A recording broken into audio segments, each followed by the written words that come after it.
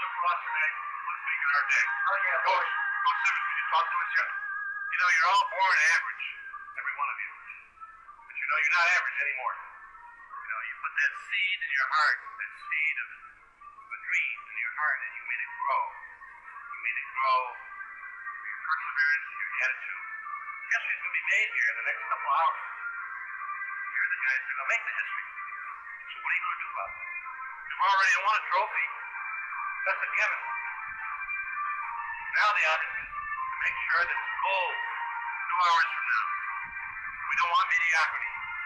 We want another goal.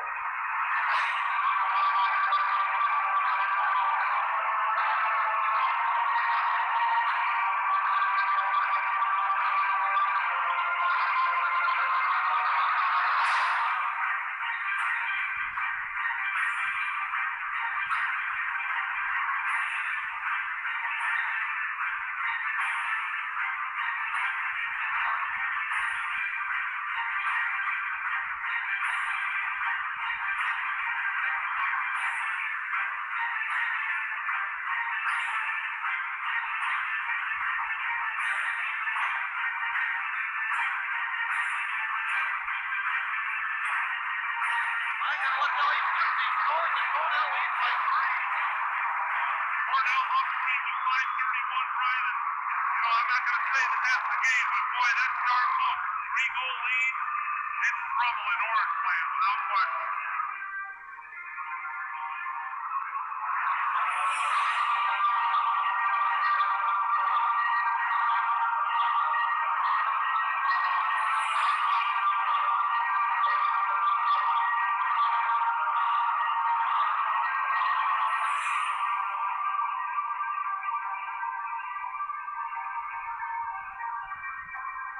Keogh back to Nims. Goal line near sideline. Kenny. 30 seconds to go. Kenny beats the Crazies. Wide of Keogh. Oh, and it is out of bounds. Cornell gets it back with 27 seconds left. Unless Syracuse has some type of a miracle on the clear, Brian, this thing's over.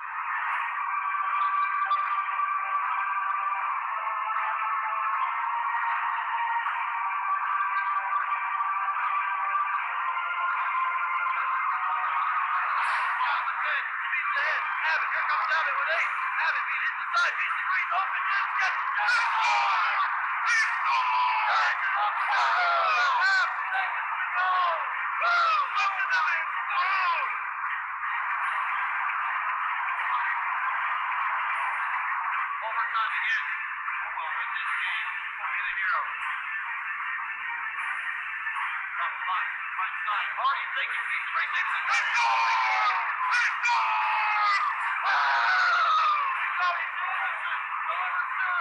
Eleven.